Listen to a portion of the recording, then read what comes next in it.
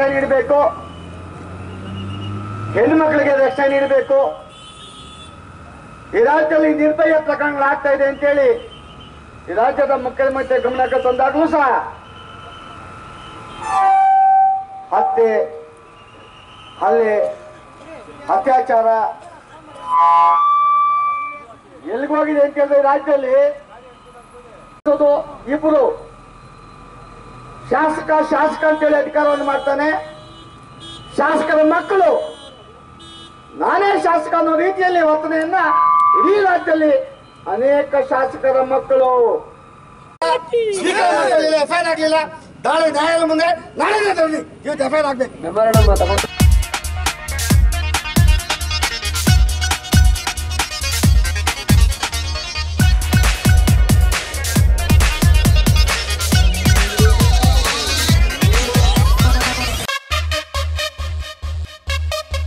BJP ಮತ್ತು ಸಂಘ ಪರಿವಾರ ಕಾರ್ಯಕರ್ತರ ಕೊಲೆ. ಹೆಣ್ಣು ಮಕ್ಕಳ ಮೇಲೆ ಅತ್ಯಾಚಾರ. ಇವೆಲ್ಲದ ಬಗ್ಗೆ ಅನೇಕ ಬಾರಿ ಬಿ ಜೆ ಪಿ ಪ್ರತಿಭಟನೆ ಹಮ್ಮಿಕೊಂಡಿದ್ದನ್ನು ಸಹ ಆನೇಕಲ್ ತಾಲೂಕಲ್ಲಿ ನಾಲ್ಕು ಬಿ ಜೆ ಪಿ ಕಾರ್ಯಕರ್ತರ ಕಗ್ಗೊಲೆ ರಾಜಕೀಯ ಕೊಗ್ಗಲೆ ನಡೆದಿದ್ದನ್ನು ಸಹ ಪೊಲೀಸ್ ಇಲಾಖೆ ಕೈಕಟ್ಕೊಂಡು ಕೊಡ್ತಿದೆ ನಿನ್ನೆ ಮಂಜಾವತ ಮೇಲೆ ವಿಶೇಷವಾಗಿ ಕೊಲೆ ಯತ್ನ ಏನು ನಡೆದಿದೆ. ಆ ಕೊಲೆ ಯತ್ನದ ಬಗ್ಗೆ ಗಂಭೀರವಾಗಿ ಕಾಂಗ್ರೆಸ್ ಸರ್ಕಾರ ಅದನ್ನು ಪರಿಗಣಿಸಬೇಕು. ಆನೇಕಲ್ ತಾಲೂಕು ಪೊಲೀಸ್ ಇಲಾಖೆಯ ಅಧಿಕಾರಿಗಳು ಸಹ ಆ ಬಗ್ಗೆ ಗಂಭೀರವಾಗಿ ಪರಿಗಣಿಸಿ ತತ್ಕ್ಷಣ ಕೊಲೆ ಯತ್ನ ಮಾಡಿರ್ತಕ್ಕಂಥ ಗೂಂಡಾಗಳನ್ನು ಬಂಧಿಸಬೇಕು.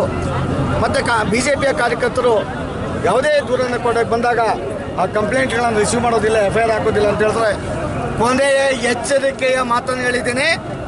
ಇವತ್ತು ಸರ್ಜಾಪದಲ್ಲಿ ಕಲ್ಲಳ್ಳಿಯ ಕಾರ್ಯಕರ್ತರು ಏನು ಕಂಪ್ಲೇಂಟ್ ಕೊಟ್ಟಿದ್ದಾರೆ.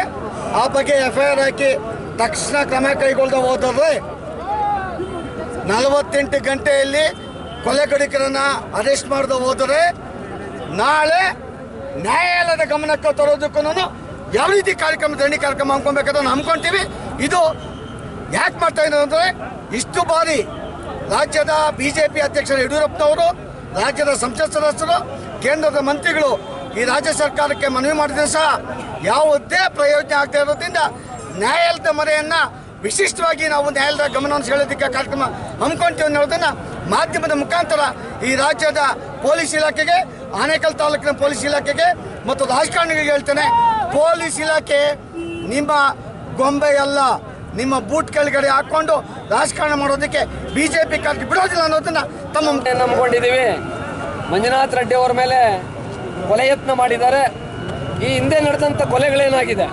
ಹರೀಶ್ ಅವ್ರದ್ದು ಇರ್ಬೋದು ವಾಸು ಅವ್ರು ಇರ್ಬೋದು ಎಲ್ಲ ಕೊಲೆಗಳಿಗೂ ಸಾಮ್ಯತೆ ಇದೆ. ಯಾಕಂದ್ರೆ ಎಲ್ಲ ಕೊಲೆಗಳಿಗೂ ಕೂಡ ಖಾರದ ಪುಡಿಯನ್ನು ಎರಚಿ ಕೊಲೆ ಪ್ರಯತ್ನಗಳು ನಡೆದಿದೆ.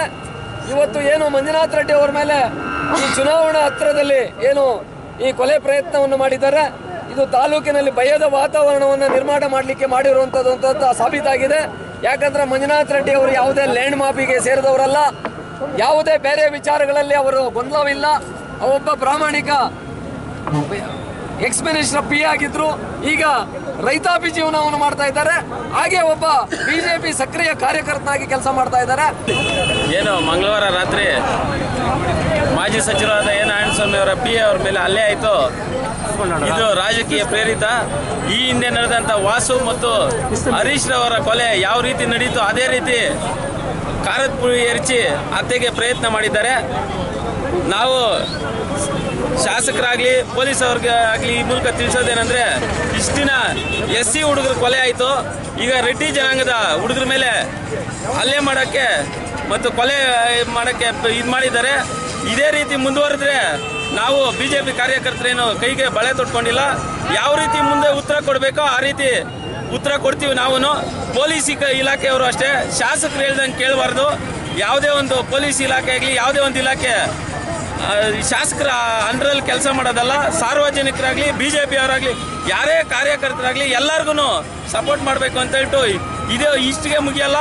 ಇನ್ನೂ ಮುಂದೆ ಏನಾದರೂ ಪೊಲೀಸವರು ಈ ಬಗ್ಗೆ ಆಕ್ಷನ್ ತೆಗೆದುಕೊಂಡಿದ್ರೆ ಮುಂದೆ ನಾವು ಇನ್ನೂ ಉಗ್ರ ಹೋರಾಟ ಮಾಡಬೇಕು ಅಂತ ಹೇಳ್ಬಿಟ್ಟು ತೀರ್ಮಾನ ಮಾಡಿ ತಾಲೂಕಿನಲ್ಲಿ ನಡೆಯುವಂಥ ಒಂದು ಘಟನೆಗಳು ನೋಡ್ತಾ ಇದ್ದರೆ ಇಡೀ ರಾಜ್ಯದಲ್ಲಿ ಕಾಂಗ್ರೆಸ್ನ ಒಂದು ದುರಾಡಳಿತ, ನಮ್ಮ ಕಾ, ನಮ್ಮ ಆನೇಕಲ್ ತಾಲೂಕಿನ ಒಂದು ದುರದೃಷ್ಟಕರ ಒಂದು ಸಂಗತಿ ಅಂದರೆ, ಐದು ವರ್ಷದಲ್ಲಿ ಸಾರ್ವಜನಿಕರು ಒಂದು ಮತ ನೀಡಿದಂಥ ಏನು ಈ ಶಿವಣ್ಣನವರ ಒಂದು ಆಡಳಿತ ಯಾವ ರೀತಿ ಕಾಂಗ್ರೆಸ್ ಇದೆ ಅಂದರೆ, ಈ ತಾಲೂಕಿನಲ್ಲಿ ಗೊತ್ತಾಗ್ತಾ ಇದೆ. ಯಾಕೆಂದರೆ, ನಿನ್ನೆ ಎಲ್ಲ ಮೊನ್ನೆ ರಾತ್ರಿ ನಡೆದಂಥ ಒಂದು ಘಟನೆ ಯಾವ ರೀತಿ ಒಬ್ಬ ಬಿ ಜೆ ಪಿ ಕಾರ್ಯಕರ್ತ ಮತ್ತು ನಮ್ಮ ಮಾಜಿ ಸಚಿವರಾದಂಥ ಎನ್ ನಾರಾಯಣಸ್ವಾಮಣ್ಣವರ ಒಂದು ಆಪ್ತ ಸಹಾಯಕನನ್ನು ಒಂದು ಕಾರದ ಪುಡಿ ಒಂದು ಹೊಡೆದು ಒಂದು ಅವರನ್ನು ಹತ್ಯೆಗೊಳ್ಳಲು ಒಂದು ಪ್ರಯತ್ನ ನಡೆದಿದೆ. ಈ ತಾಲೂಕಿನಲ್ಲಿ ಕಾನೂನು ಸುವ್ಯವಸ್ಥೆಯನ್ನು ಅವ್ರ ಮನೆಯಲ್ಲಿ ಇಟ್ಕೊಂಡು ಕೆಲಸ ಮಾಡ್ತಾ ಇದ್ದಾರೆ ಅನಿಸ್ತದೆ ಯಾಕಂದರೆ ನಾನು ನೇರವಾಗಿ ಹೇಳ್ತಾ ಇದ್ದೀನಿ, ಯಾವುದೇ ಒಂದು ಠಾಣೆಯಲ್ಲಿ ಇದು ನಡೀತಾ ಇಲ್ಲ. ಠಾಣೆಯಲ್ಲಿ ಅಧಿಕಾರಿಗಳು ಪಾಪ ಅವರು ನಿಷ್ಠಾವಂತ ಅಧಿಕಾರಿಗಳು ಪೊಲೀಸ್ ಇಲಾಖೆಯಲ್ಲಿ ಇದ್ದರೂ ಕೂಡ ನಾನು ಅವ್ರನ್ನ ಈ ಸಂದರ್ಭದಲ್ಲಿ ನಾನು ಶಾಸಕ ಯಾವ ರೀತಿ ಹೇಳಬೇಕು ಈಗಾಗಲೇ ಒಂದು ರಾಜ್ಯಾದ್ಯಂತ ಏನೋ ಗೂಂಡ ರಾಜ್ಯ ನಿರ್ಮಾಣ ಆಗ್ತಾ ಇದೆ. ಇದು ನಿಜಕ್ಕೂ ಕೂಡ ಇಡೀ ರಾಜ್ಯದ ಇತಿಹಾಸವನ್ನು ತೆಗೆದು ನೋಡಿದಾಗ, ಯಾವತ್ತೂ ಕೂಡ ಇಷ್ಟೊಂದು ಪೊಲೀಸ್ ಇಲಾಖೆ ವಿಫಲ ಆಗಿರಲಿಲ್ಲ ಅಂಥೇಳಿ ನಾನಾದರೂ ಹೇಳಲಿಕ್ಕೆ ಬಯಸ್ತೇನೆ. ಯಾಕೆಂದರೆ, ಇವತ್ತು ಬೆಳಗ್ಗೆ ಎದ್ದು ನೋಡಿದ್ರೆ, ನಾವು ನೋಡ್ತಕ್ಕಂಥದ್ದು ಕೊಲೆ, ಅತ್ಯಾಚಾರ, ಸರ ಅಪಹರಣ, ಮತ್ತು ಉದ್ಯಮಿಗಳ ಅಪಹರಣ, ಉದ್ಯಮಿಗಳ ಒಂದು ಸುರಕ್ಷತೆ ಆಗಲಿ, ಮಾತೆಯರ ಸುರಕ್ಷತೆ ಆಗಲಿ ಕರ್ನಾಟಕ ರಾಜ್ಯದಲ್ಲಿ ಇಲ್ಲದೆ ಆಗಿದೆ. ವಿಶೇಷವಾಗಿ ರಾಜಧಾನಿ ಬೆಂಗಳೂರಿನಲ್ಲಿ ಇವತ್ತು ಜನರಿಗೆ ಯಾವುದೇ ಒಂದು ರಕ್ಷಣೆ ಇಲ್ಲ ಅನ್ನೋಂಥದ್ದಕ್ಕೆ ಇವತ್ತು ಒಬ್ಬ ಲೋಕಾಯುಕ್ತರ ಮೇಲೆ ಆಡುಹಗಲಲ್ಲಿ ಚೂರಿ ಹಾಕಿದಂಥ ಪ್ರಕರಣ ಪೊಲೀಸ್ ಇಲಾಖೆಯ ದಕ್ಷತೆಗೆ ಕನ್ನಡಿ ಹಿಡಿದಂತಾಗಿದೆ.